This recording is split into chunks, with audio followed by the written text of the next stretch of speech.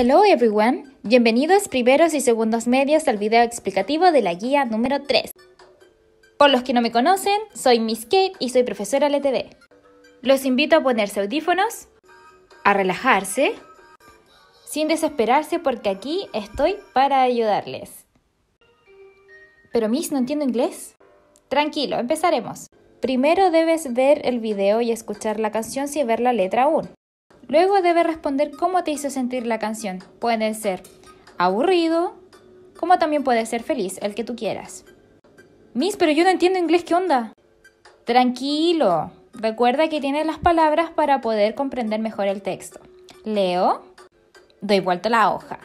Me encuentro con el primer ejercicio que trata de completar las palabras con las vocales faltantes. Easy peasy. Ejercicio número 2.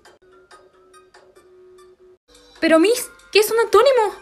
Ah, es una palabra que tiene un significado opuesto a la otra. Por ejemplo, amor y odio.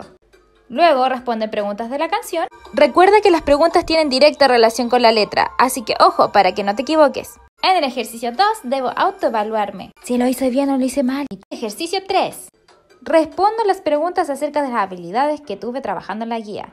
No olvides dejarnos sugerencias y espero que te haya gustado este video tanto como a mí y que te haya ayudado. Bye.